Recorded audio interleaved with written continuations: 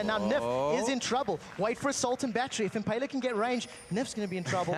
Manages to keep out of range. Oh, looks like they were trying to flex their muscles, but they dropped the dumbbell on that one. It's going to be the command shockwave coming in. A beautiful hit up. Svenskeren goes down. Justice takes down Haydale. The ADC is out of the fight, but it's going to be the Dragon coming in. Breathing fire, double kill for Mimer as they start to clean this one up. A quadra kill for Mimer coming in onto Freddy. Will they give it to him? The HP is just They're walking away, but he might go down. What? They tried to leave him for the kill, but they left him for dead.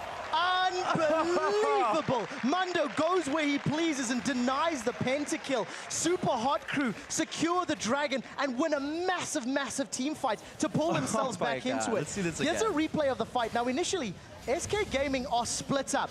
Candy Panda is nowhere near the rest of his team. And as he joins the fight, it's a little bit too late. They do get a very good engage from Svenskeren, thanks to that Agony's Embrace. But fact of the matter is, SK Gaming just grouped up a little too slowly. Candy Panda untouched, but the amount of damage that's coming down from Mimer's um, Shyvana, he's tearing through absolutely everybody. And some very, very good control coming out of Super Hot Crew allows them to actually win that fight. It was a five for three, if memory serves correctly. And Freddy, too much regen on that Dr. Mundo, does manage to deny the pentakill.